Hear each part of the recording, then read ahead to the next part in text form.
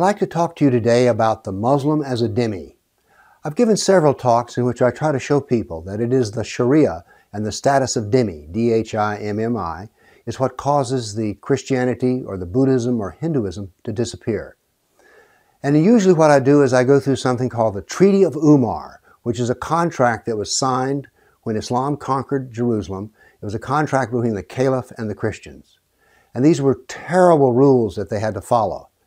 But in order to really drive them home, I would like for you to pretend like that the Muslims have signed a dhimmi-treaty with our culture, with our civilization. And let's see what it feels like to put the shoe on the other foot. What would it be like if the Muslim were a dhimmi in America? Now, every one of these things that I'm going to give you are things that the Christians were subjugated to. Let's start off with Muslims shall not build any new mosques.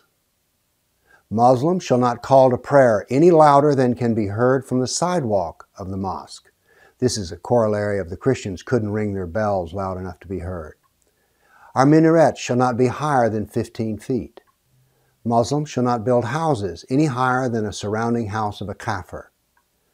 Muslims will not have any position or place of authority over any kafir. Muslims will not vote, nor will they be citizens in any kafir nation. Muslims will not serve in the military, police force, or have any government position.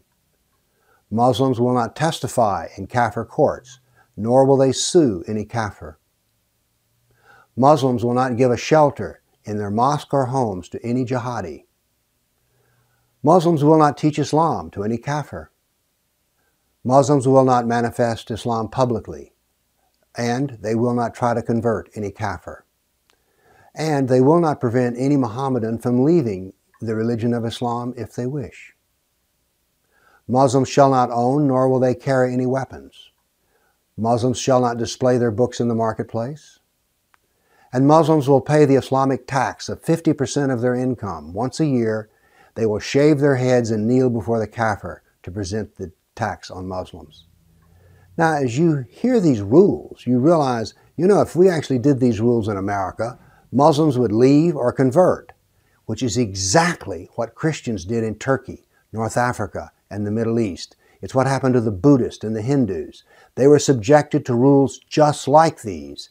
And so after a while they converted. It may have taken centuries, but they converted or they left Islam. Now then that you've seen how the Treaty of Umar treats the kafir, you can see that no Muslim would ever volunteer to be part of that same treatment. Thank you.